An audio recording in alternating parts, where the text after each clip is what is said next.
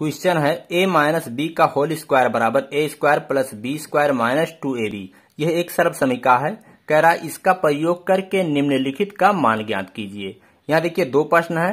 पहला है अट्ठानबे का स्क्वायर और दूसरा है उनचास का स्क्वायर इसका आपको मान ज्ञात करना है। तो पहला अट्ठानबे का स्क्वायर करेंगे। देखिए, इसको हम इस तरह लिख सकते थे, अट्ठानबे गुड़े अट्ठानबे और इन दोनों का गुड़ा कर लेते। उसके बाद जो आता वही उत्तर होता। लेकिन इस तरह करना गलत है, क्योंकि यहाँ शर्त रख दिया है कि आप इस सर्वसमिका का प्रयोग कीजिए। तो देखिए, सबसे पहले हम क्या करेंगे?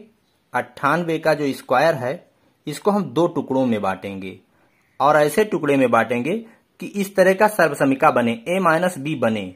तो चलिए, हम इसको लिख सकते हैं, सौ माइनस दो। सौ माइनस दो बराबर क्या होता है? अट्ठानवे होता है। तो इसका स्क्वायर। तो इन दोनों का क्या हो जाएगा? होल स्क्वायर हो जाएगा।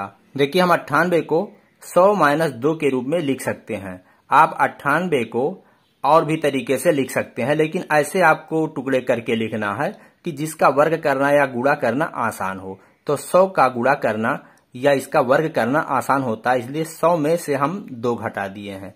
आप 101 में से तीन घटा देंगे, तब भी अट्ठानबे होगा। तो इस तरह से 101 का वर्ग करना या गुड़ा करना थोड़ा मुश्किल हो जाता है। इसलिए आप जब भी टुकड़ा करिए तो आसान वाला टुकड़ा करिए। तो हमने इसको 100 माइनस दो के रूप में लिख दिया, इसका होल स्क्वायर अब देखिए, यहाँ ये सर्व समीका है। ए माइनस बी अगर ये ए है और ये बी है तो a माइनस बी का होल स्क्वायर तो a माइनस बी का होल स्क्वायर बराबर क्या होता है? यहाँ देखिए लिखा है, इसका हमें प्रयोग करना है। तो ए स्क्वायर तो 100 का स्क्वायर प्लस बी का स्क्वायर तो दो का स्क्वायर माइनस दो ए बी। ए कितना है? सौ के बराबर। बी कितना है? दो के बराबर। अब हल करेंगे। देखिए, सौ का वर्ग करेंगे तो सौ गुड़े सौ हो जाएगा दस हज़ार। प्लस दो का वर्ग करेंगे तो आएगा चार। माइनस दो का गुड़ा सौ से करेंगे तो दो सौ और दूना चार सौ। अब यहाँ हल करेंगे। दस हज़ार में चार जुड़ेगा, फिर चार सौ घट जाएगा। तो पहले हम चार सौ घटा दे रहे हैं तो नौ हज़ार छह सौ बचेगा। और ये चार जोड़ लेंगे तो नौ हज़ार छह सौ चार। नौ हज़ार छ सौ प्लस चार तो बराबर क्या आ जाएगा? नौ हज़ार छह सौ चार। तो ये है आपका उत्तर। अब आइए दूसरा प्रश्न हल करते हैं। उनचास का स्क्वायर।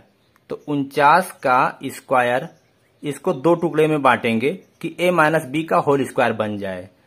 तो इसको हम लिख सकते हैं पचास माइनस एक। इसका होल स्क्वायर देखिए, पचास माइनस एक बराबर क्या होता है? उनचास। आप कोई और दूसरा टुकड़ा भी ऐसा कर सकते हैं, लेकिन हमने जो पचास माइनस एक किया, इसका वर्ग करना या गुड़ा करना आसान है। तो आप पचास माइनस वन के रूप में ही इसको लिखें। अब देखिए, a माइनस बी का होल स्क्वायर ये a है और ये b है तो a माइनस बी का होल स्क्वायर तो क्या होता है? A square a square plus b का स्क्वायर तो बी कितना है? एक है तो एक का स्क्वायर हो जाएगा। माइनस टू ए बी तो ए कितना है? पचास के बराबर है। और बी कितना है? एक के बराबर। चलिए, पचास का जब वर्क करेंगे तो पचास गुड़े पचास तो पाँच का वर्क करेंगे, हो जाएगा पच्चीस। और ज़ीरो दो बार आ जाएगा। प्लस एक का वर्क करेंगे तो एक आएगा। माइनस दो गुड़े पचास बराबर सौ सौ इक्कम सौ। अब पच्चीस सौ और प्लस एक जुड़ेगा, उसके बाद सौ घटेगा। तो पहले घटाव कर देते हैं, पच्चीस सौ में से सौ घट गया तो क्या आया? चौबीस सौ। चौबीस सौ में एक जोड़ेंगे तो क्या आ जाएगा? दो हज़ार चार सौ एक, चौबीस सौ एक। तो दो हज़ार चार सौ एक। तो ये है आपका उत्तर। तो दोस्तों, मुझे आशा है कि मेरा ये वीडियो आपके समझ में आ गया होगा। अगर आपको पसंद आया है तो आप लाइक करिए, शेयर करिए। हमारे चैनल ज्ञान का सागर को आप सब्सक्राइब करिए। हम मिलेंगे आपसे नेक्स्ट वीडियो में। इसी के साथ कहते हैं जय हिंद, जय भारत।